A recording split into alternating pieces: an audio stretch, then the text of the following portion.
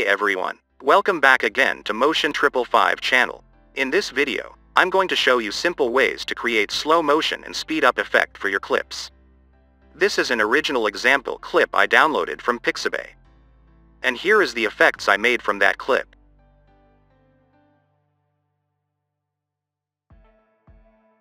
Okay, let's do it. From my computer, I have already created a new project. And first, let import the video clip for the effects into the After Effects project panel. Next, I create a new composition, and have the resolution settings at 1920 x 1080 pixels, at 30 frames per second as usual. For duration, it's up to you to set it, depends on the length of your clip's effect. I make duration for 30 seconds. For composition name, it doesn't matter, just name this whatever you want to. I call it motion. Once all sets, just hit OK button. Next step, let drag the video clip from the project panel into the new created compositions layer panel. As you can see from the timeline, my clip is around 6 seconds in length. I want to create the slow motion somewhere in the middle of the clip. And the speed up at the end of the clip. Okay, let's zoom in the timeline to see more frames. Now I manually move the time indicator slowly along the timeline to preview the clip in order to select the good movements for my video effect. I decide to start slow motion at 1 second 15 frame. I press star key to mark this position, so I won't miss it later when I move the time indicator away. I continue moving the time indicator forward to pick a stop point of this slow motion effect. I will mark at 2 second 7 frame to stop the effect. Just hit star key again to place the marker. While the time indicators still point at the second marker position, or the stop point. Use combined keys, Control Shift, D, in order to split the original clip layer into two separate layers. Next, select the bottom clip layer from the layer panel. Then point the time indicator right at the first marker position, or the start point.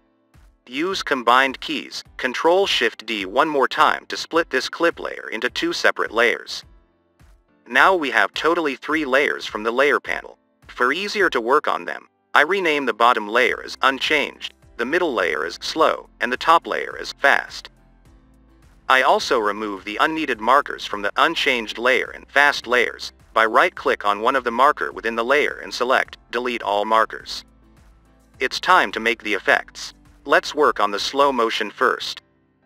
Right-click on the slow layer, select Time, then select Time Stretch.